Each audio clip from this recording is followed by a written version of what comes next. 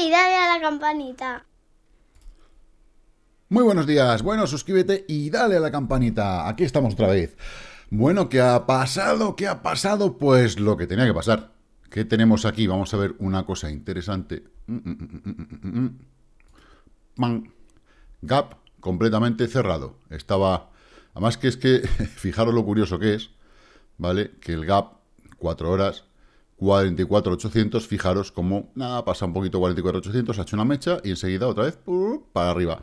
Vamos a ver si desde aquí rebote o necesita coger un poquito de dinerito aquí en la zona o, o, o, como dije ayer, irnos a la media de 100 en 4 horas. Claro, tener en cuenta que el mercado que manda es este. Al final el resto de mercados hacen lo que hace este cuando el resto de mercados tienen mucho más volumen. A ver, si en un momento dado el resto de mercados empiezan a tirar, este no le queda más remedio que subir. Este es el de futuros de Bitcoin del CME, de Chicago. ¿Vale? Ahora bien, con esta Chicago dependencia que ya lo vemos que cierra el gap y al final vamos todos detrás, no nos extrañe también que en un momento dado necesite tocar la media de 100 para luego seguir.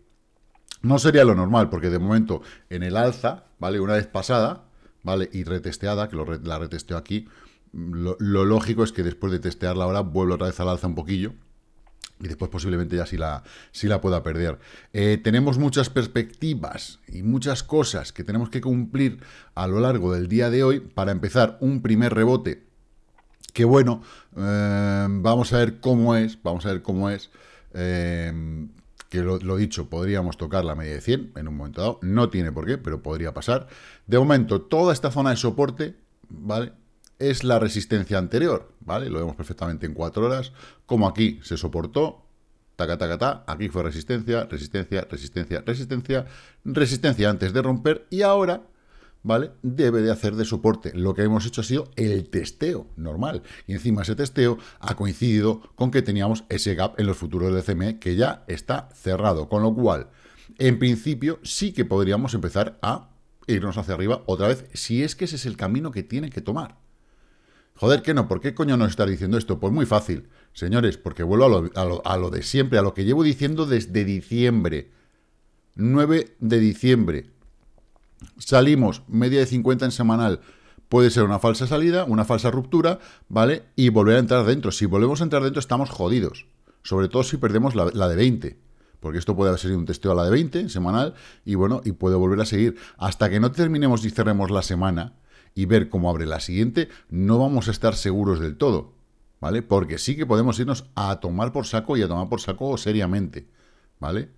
Entonces, hay que vigilar eso, no os perdáis esto. Hay momentos en los que es mejor ver los toros desde la barrera y con muy poquito capital y mucho cuidadito, ¿vale? ¿Por qué? Pues muy sencillo, si tenemos esta línea RSI descendente, ¿vale? Que está descendiendo desde enero, ¿eh? Cuidado, lleva más de un año ya cayendo eh, y no rompiéndose, claro, cuando pasa por encima de 50 es positiva, construye. Cuando está por debajo de 50 lo que hace es ser negativa y destruye. Ahora mismo estamos no solamente a ver si tocamos y rompemos o no y nos vamos para abajo, sino que en la, en la zona de 50, en cualquier pérdida de la zona de 50, vamos a quitar esta línea roja, ¿vale? La línea de puntos es la zona de 50. Cualquier pérdida nos manda para abajo de una forma bastante rápida. ¿Vale? Y eso es lo que a mí me, me raya, ¿vale? Entonces, bueno, estaros atentos, ver el volumen, cómo, pues tampoco es que haya sido maravilloso y cómo ha ido bajando en estas semanas, cómo ha ido bajando en estas semanas, vamos a ver cómo cierra esta, ¿vale? Evidentemente, ya sabemos que hay mucho volumen que está fuera de los exchanges, pero la cosa está ahí, ¿vale? La cosa está ahí. Y a mí lo que me sigue rayando, y nuevamente también, es el volumen. Ya sabéis que yo pienso que el volumen es el rey. Y bueno, no es que lo piense, es que es así.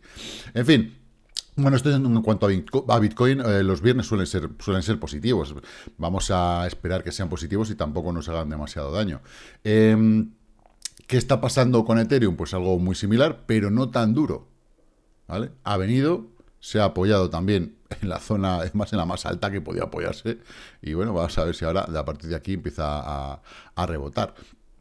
Eh, la dominancia de Bitcoin, ¿vale? Sigue cayendo. Esto favorece a las altcoins, esto favorece una posible subida eh, más potente del Bitcoin. Ya sabéis que yo tengo dos puntos posibles de parada. Uno es este punto de pivote aquí, estos cuerpos en la zona de 41 y pico, 41.8 y otra aquí en la zona de 49. O sea, hay un punto de diferencia entre una y otra, más o menos. Así que bueno, vamos a ver qué tal, qué tal sigue esto. En cuanto al total market cap, evidentemente ha caído al principio del día, pero ahora está empezando a recuperarse. ¿Qué quiere decir esto? Pues que está volviendo a entrar dinero en Bitcoin, eh, o se están haciendo recompras o lo que fuera. Y eh, Vamos a verlo también. No tengo yo aquí. No, sí. La dominancia, ¿veis la dominancia del títer? ¿Vale? Más 0,44. Entonces, claro, eso hace que, el resto, el Bitcoin por lo menos se, se resienta bastante.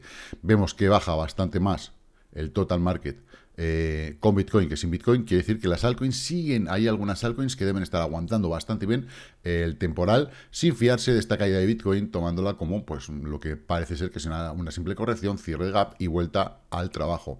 El oro, tenemos subiéndolo 11 puntitos, ayer subió un poquito, llevamos tres días de subiditas, vamos a ver qué tal, qué tal se defiende hoy, si, si sigue bueno, pues con su con su, vida templada, porque este es, hay veces que se queda muy muy lento y de repente te hace una de estas, así, pam, y en una semana pues te ha puesto las pilas.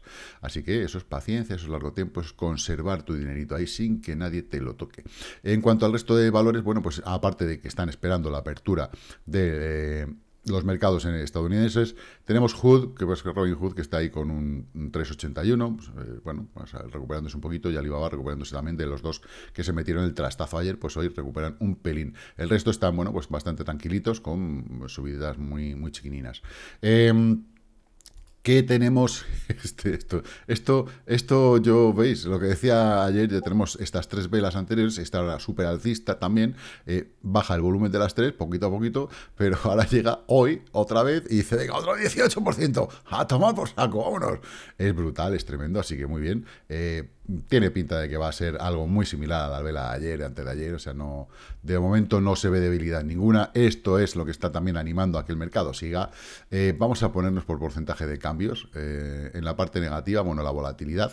Eh, CFX, Umbrella, los cortos de Bitcoin que siguen cayendo, ¿vale? Esto es importante para nosotros. Si los cortos siguen cayendo, eso es que no, hay una posición negativa en cuanto a Bitcoin.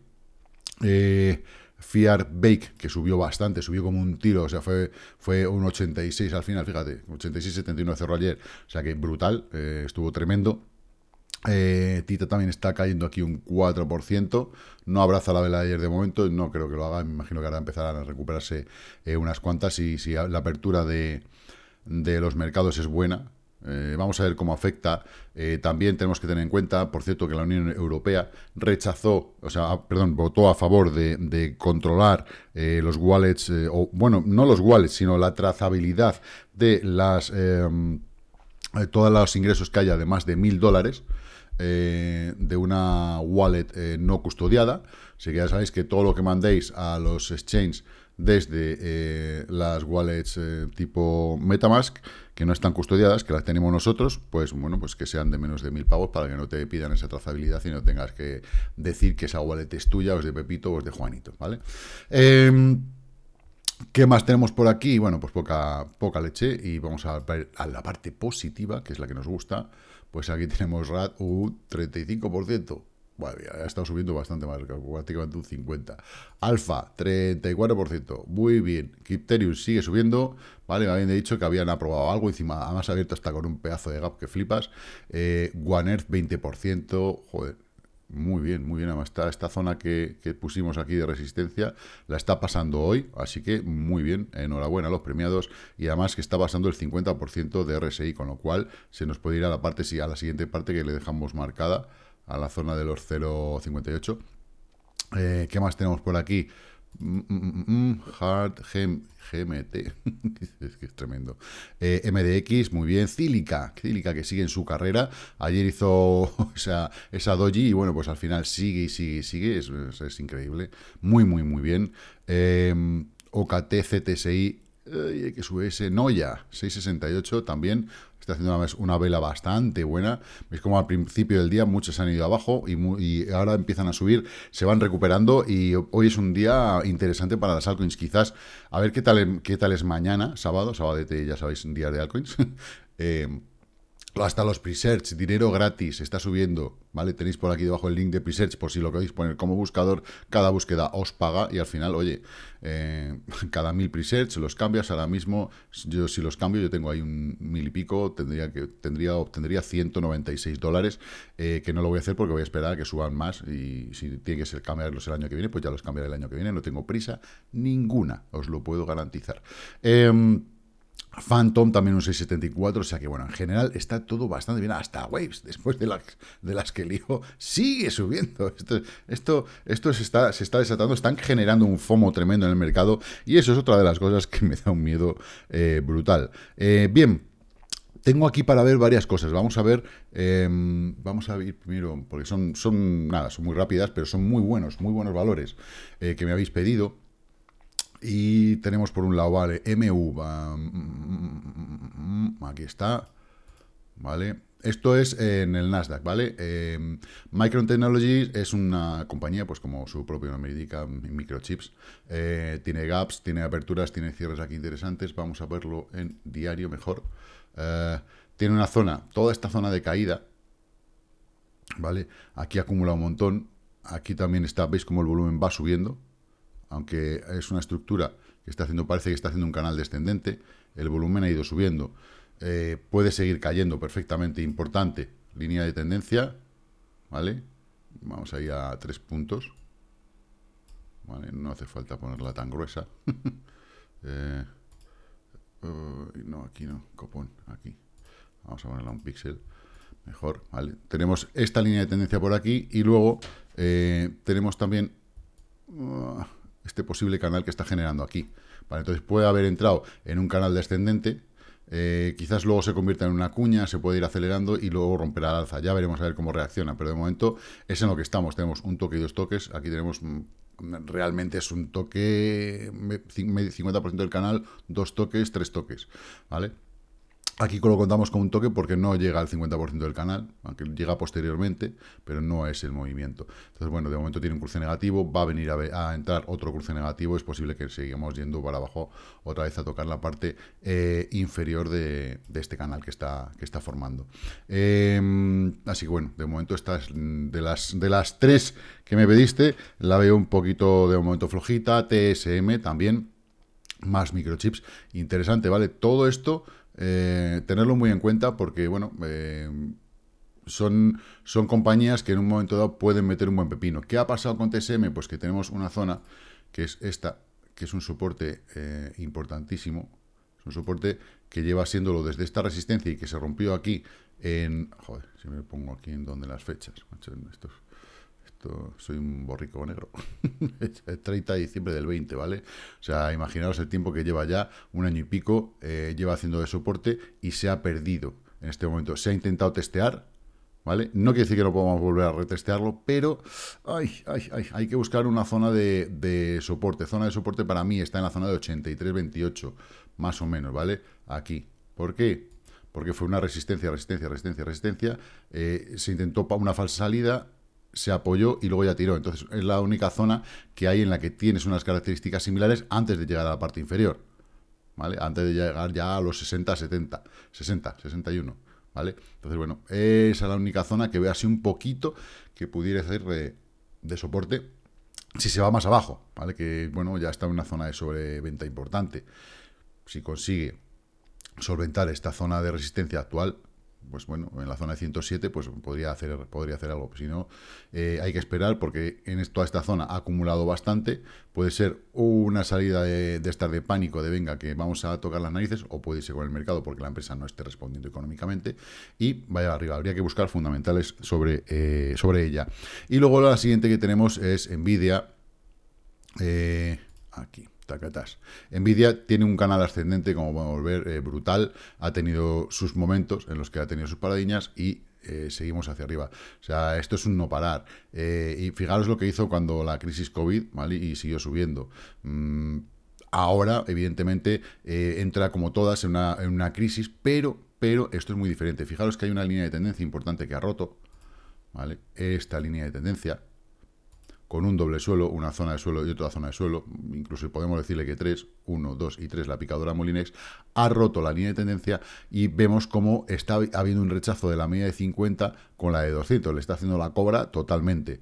Ahora vamos a ver que mm, la media de 100 está haciendo de soporte dinámico, pero, pero es posible que la pierda se venga hasta la de 50 y luego ya vuelva a tirar. Mm, es muy típico. Si cae a la media de 50, fijaros cómo es, cómo es eh, preparar un trade, ¿vale? Eh, entre la media de 50 y la de 100 tenemos un 10%. Es un trade más que rico, ¿vale? Y más para un valor como Nvidia. Eh, si la tenéis en FTX, tendríais también que mm, podéis, podéis hacerlo en futuros, cosa que está muy bien. Pero, ¿qué tiene toda esta estructura? Que en lo que sería, digamos, este triple suelo, por decirlo así, aunque es una estructura de doble suelo, tenemos este vértice que hay aquí que nos puede hacer de soporte, ¿vale? Y este vértice en conjunto con este apoyo que hizo en su momento es una zona, ¿vale? Todo eso es una zona que puede ser una zona de soporte, es decir, y justo en, eh, en confluencia con la media de 100. Y de aquí puede rebotar perfectamente. La mejor de las tres, evidentemente, es Nvidia con bastante diferencia. Eh, en cuanto a altcoins, me habéis pedido Atom. Em, pedazo de altcoin, por cierto. Pata, pam. Vale, 10. Eh, un 1% está subiendo. Veis como la, vela que ha hecho en diario, pues bueno, se ha ido al principio del día, pues como muchas de ellas. Abajo ya tenemos testeada la media 50 y intentar subir. Objetivo inicial está ya dentro, digamos, de esta zona de antigua pues que fue soporte aquí, que toda esta zona ha sido resistencia, no ha sido capaz de pasarlo. Bueno, pues vamos a quitar el rectángulo, este para que no nos haga tanto ruido, y, no hace falta porque está la línea que, vemos que es resistencia. Em, debería de irse a la de 100, ¿vale? Debería, veis que, bueno, todos estos latigazos ha ido plaf, el papaje se ha ido directamente a 200, a 200, a 200, y le han rechazado, la han rechazado. Entonces, bueno, tiene que bajar, buscar abajo dinerito y volver a ir. Y de aquí a la de 100 estamos hablando de un 7 y pico. Y si llega a la de 200, pues estamos hablando de un 10. Es un buen trade. Pero, pero eh, necesita un poquito de chicha. Y en cuanto tenga un poco de chicha, va, va, va a subir igual que todas. Lo que pasa es que, bueno, ya sabéis, Atom está, ¿veis cómo está en la zona de 50? Aquí, venga, que la paso, ahora me apoyo, está tonteando, ahora tonteo por debajo, entonces lateraliza mucho. En el momento que empieza a romper un poquito hacia arriba, de verdad, esto, esto sube y rompe esta línea de tendencia que tenemos aquí, que claro, eh, según la vemos aquí, parece que es una mierda, pero es que está en logarítmico, ¿vale? Y es la parte inferior, cosa que no tiene nada que ver. Eh, la acelerada ya la perdió, este toque aquí va realmente ahí, ¿veis? Un toque aquí, un toque aquí, aquí fue resistencia y se nos vino abajo. Entonces, objetivo, ahora mismo. Actual es la media de 100 junto con la de 200, que tienen que intentar subir el precio, los precios para que esas medias vayan hacia arriba, y este punto de pivote que hay aquí en la zona de 34 debería ser la, eh, el objetivo real, ¿vale? Em, soporte, este mismo que hizo aquí, ahora mismo en 26, 23 aproximadamente, debería ser el punto de pivote de soporte, pero, o oh, pero, esta línea de tendencia que es tan importante y que por arriba, le veis, le está cerrando esos máximos, aquí ha habido un fallo en el canal, vino abajo, no ha llegado, pero posiblemente se nos venga, se nos venga, aunque sea lateralizando, cayendo tal, en cualquier momento podría venir a tocar. Cualquier toque a esta línea, si no hay pérdida eh, del canal, o sea que debería que esperar, una vez, no, el, toque, ¿vale? Hay que esperar a que vuelva a empezar a subir para entrar, pues podría ser una buena entrada, y si pierde, pues un, un buen corto podría ser. ¿Qué más tenemos por aquí? Sushi. Mm, mm, mm, Sushi. Susi, Susanita tiene un ratón. ¿Dónde tenemos aquí? Susi. Pierde 0,16, exactamente un patrón similar. Veis que tenemos una vela doji ahora mismo. Ha empezado el día cayendo, luego ahora se está recuperando, intentando ir arriba, ¿vale? Objetivo, la media de 100, que es la que le ha rechazado. Tiene que pelear, ha tenido que bajar a buscar dinerito y decir, hey, tío, o me das un poquito más de volumencito y un poquito de dinerito, o yo no puedo llegar a la de 100. Media de 100, 10%, es un buen trade. A partir de ahí, una vez roto este punto de pivote, nos vamos al siguiente, ¿vale? Que está en la zona de 7. está bastante, bastante bien. Fijaos que además coincide eh, justo con la media de 200 que está cayendo a la zona, ¿vale? Otro punto. Resistencia, lo tenemos claro, la media de 100 junto con el punto de pivote anterior. Y soporte, ahora mismo debería de ser tanto la EMA 20, ¿vale? Como la zona de 038, que además coincide en confluencia, que es este suelo que hizo aquí, esta zona de, soporte, pues ahí. Eh, RSR. RSR, RSR, RSR, eh, lleva un 5% de subida, muy bien, lleva varios días fantástico, tiene una subida de volumen espectacular, todavía le queda chicha en el RSI para llegar a la media de 200. Tenemos marcado el 0.027, ¿vale? Eh, que es este mm, punto de pivote junto con esta zona de apoyo, apoyo y resistencia, eh, con lo cual es posible que llegue ahí. Yo personalmente, si estuviera dentro, me iría un poquito antes en la zona de 0.24, 0.25, ¿vale? Em, ¿Qué más? Tenemos KLV que nos la pide Patricia, KLV, KLV, KLV. KLV, aquí está. Está bajando un 0.32, imagino que está recuperando como todas. Eh, bueno, está en indecisión, ha subido, bajado, bajado, subido, pues está en la media de 200, tiene que pelear con ella, está en sobreventa. Eh, importante, aquí vemos que esta línea de tendencia que tenemos en la RSI hay que tenerlas muy en cuenta, porque funcionan, funcionan, ¿vale? Si veis, tenemos una diferencia importante, vamos a ponerlo aquí, vamos a ampliarlo, espérate, vamos a ampliar esto, vamos a ver cómo en el alerts, podemos muchas veces ver cosas que no vemos en el RSI. ¿vale? Entonces tenemos aquí una línea de tendencia, toque, toque, toque, desde más atrás, que aquí veis que no llega porque por el ángulo no, no le deja. Entonces eh, mide un poco diferente el alert. Entonces sí que tenemos toque, toque, toque en la zona, zona de soporte puede venirse en cualquier momento a tocar la línea de tendencia o a tocar esta otra. De momento que aguante, una vez que pierda esta línea se irá para abajo. ¿vale? Entonces estamos en zona de sobreventa, si pasa ves que esta zona fue un toque, dos toques, tres toques, soporte. Aquí ha sido una, una pequeña resistencia, una resistencia ahí que, bueno, pues aquí fue resistencia, bajó, la pasó. Bueno, pues si la pasa, lo normal es que se apoye y, por encima eh, haga una bandera larga, se tire una temporadilla ahí para seguir subiendo. Eh, pero puede no pasarla perfectamente y venirse a la media de 100 de momento. Va a haber un cruce interesante aquí, eh, pero bueno, el precio tiene que aguantar. Tiene que aguantar y tiene que ver si puede si puede seguir avanzando. Está, está un poquito complicada porque ya ha hecho el recorrido, o sea, lo importante ya lo ha hecho. Ya está. Pero tal y como están las altcoins, en cualquier momento puede salir, puede seguir. O sea, estamos viendo que están yendo, viendo unas sobrecompras brutales, ¿vale? Con lo cual, pues bueno, muy atentos a eso y no os dejéis engañar. Bien, hasta aquí, pues todo lo que habéis pedido, análisis completo, eh, como análisis Comansi, pues eso. Eh, mm, más allá de, de, esto, el SP500 está ahí medio positivo, está ahí como diciendo, venga, sí, vamos a, a ver si, si, hacemos, pues eso, que el apoyo en 100 sea bueno y tirar otra vez para arriba. Todo esto mm, tiene, bueno, pues unos tintes un poco raros. Ya sabemos que hoy ha habido un primer ataque de, de Ucrania a territorio ruso. Parece, no se sabe si es de falsa bandera, de no falsa bandera. Ucrania no dice que no tiene ni puta idea de lo que, de lo que ha pasado. Eh, los rusos dicen que son dos helicópteros ucranianos los que se han cargado los depósitos de combustible. Bueno, pues ya sabéis, estas, estas cosas de la guerra. Eh, que es verdad, que es mentira, no lo sabemos, la información no la tenemos, ni nadie tiene la verdad absoluta. Eh, con lo cual, pues vamos a ver cómo afecta a los mercados y, también cómo nos afecta al mercado de Bitcoin la decisión de la Unión Europea de, hacer trazabilidad de esas, de operaciones de más de 1.000 euros. Evidentemente, mm, a ver, yo pienso, todo lo que sea regulación hasta cierto punto no es malo, ¿vale? Porque regulación es igual a adopción. Y es lo que tenemos que tener muchas veces en cuenta, ¿vale? Toda regulación hace que los grandes mercados lo adopten. Tener en cuenta que la adopción ahora mismo ronda el 8%, eh, el resto no tiene ni puta idea, ni quiere saber, ni, ni, ni, o está esperando a que el mercado le diga, oye, que sí, que es momento de entrar. Mientras tanto, nosotros estamos eh, conociendo bien este mercado. Entonces, no nos tomemos a mal regulaciones, son puñeteras, sí, nos quieren fastidiar, sí, nos quieren controlar, sí, por supuesto, pero ya somos conocedores de medios para poder eh, disuadir un poquito esas cosas. Así que vamos a aprovechar ese conocimiento y el resto que no lo tenga, pues mala suerte mala suerte, es lo que tenemos. Vamos a ver si en estas velas de siguiente vela de 4 horas hacemos verde, a ver qué tal el toque a la media de 50 y a partir de ahí, boom, boom, ahí sí podemos seguir subiendo bien y enhorabuena a los primeros. Mucho cuidado, ¿vale? Por aquello de la, mm, del cierre semanal, ¿vale? Que es el que tenemos que tener en cuenta. Así que chicos y chicas, como digo siempre, invertir con mucha cautela, guardar liquidez y que la paciencia os acompañe. Chao, chao.